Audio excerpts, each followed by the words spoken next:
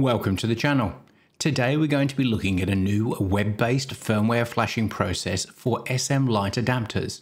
Now for some time we've been able to flash the firmware for Silicon Labs EFR based chipsets by either using the official SMLight web flasher or via the darkxst web flasher.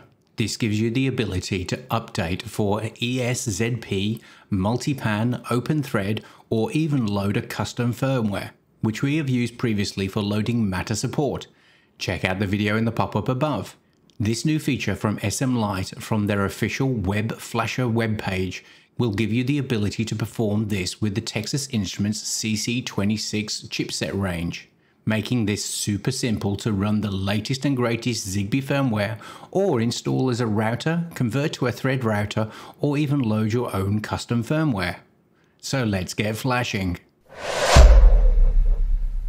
So to give you a bit of context on how impressive this new feature is and what a great job the SMLight techies have done, let's have a look at the official process for flashing the Sonoff ZB Dongle P, which runs the CC26 chipset.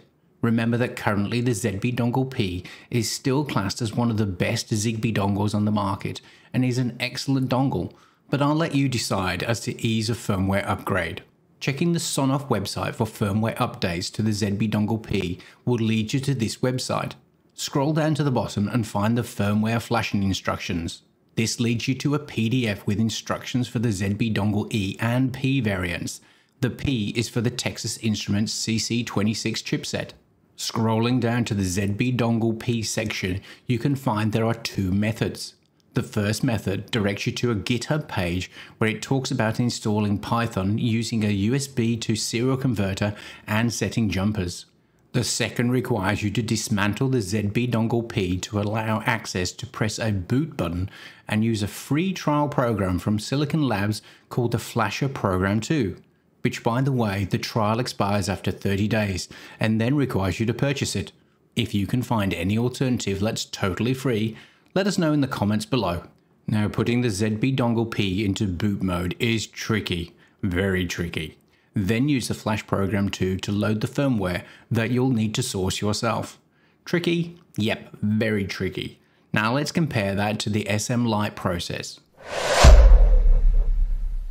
I'll be performing this on a Windows 11 desktop and upgrading an SMLight SL ZB07P7 but it applies to any of the CC26 range from SMLight.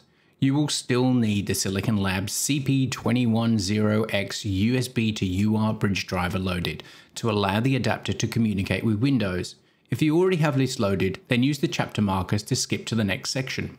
Navigate to the Silicon Labs CP210X USB to UART bridge driver webpage. Links in the description below.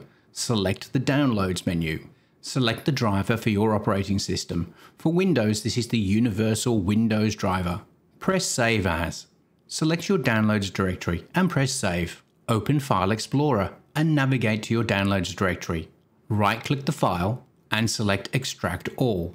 Accept the default location and press Extract. Now plug in your SL ZB07P7 or SMLight adapter that has a Texas Instruments CC26 chipset. Now we need to update the driver for the SMLight adapter with this driver that we just downloaded. Now press the Windows key and X, then M to open up the device manager. Expand the section for other devices. You will see your SMLight adapter listed if you don't already have the driver loaded. If you don't see it here, you've probably already got the driver loaded. To confirm this, expand the port section and it will appear. Make a note of the COM port it is loaded against. We'll use this later. Assuming the driver is not loaded, right-click the SMLight adapter. Select Update Driver. Now select Browse My Computer for drivers. Press the Browse button. Navigate to your Downloads directory and select the directory that starts with CP210X. Now press OK. Make sure that the Include subfolders is ticked. Press Next. You'll be greeted with a confirmation that the driver and the device is now available. Press close. Confirm the adapter is moved to the port section. Make a note of the COM port that the adapter is loaded against, as we'll use this later, and you're ready to go. Navigate to the SMLight firmware flashing website, links in the description. Select your adapter from the list. I'll be using the SLZB07P7. Now press Update SLZB07P7. A pop-up will appear. Select your adapter from the list, making sure that the COM port matches the one we made a note of earlier. Now press Connect. The flasher will connect to your adapter and bring up a selection of firmwares you can load to the adapter of ZigBee ZStack, router, thread, or upload your own firmware. Now for the purpose of this demonstration, I'll be selecting ZigBee ZStack. Press Install. The firmware will now install. This should take only a minute to complete. You'll receive an installation success message. Now press Done. Now you can use the same process to switch your firmware to any of the other options available you wish. One final point. There is an option to allow other CC2652X devices to be upgraded.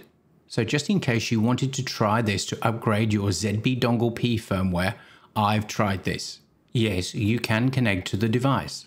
And although it doesn't give you the option to automatically upgrade to a ZigBee or a router, it does allow you to load a firmware for flashing. But when you do try an upgrade, it hangs with 0% progress and never gets past this point. I've asked the SMLight techs if this is even possible, and if I hear back, I'll let you know.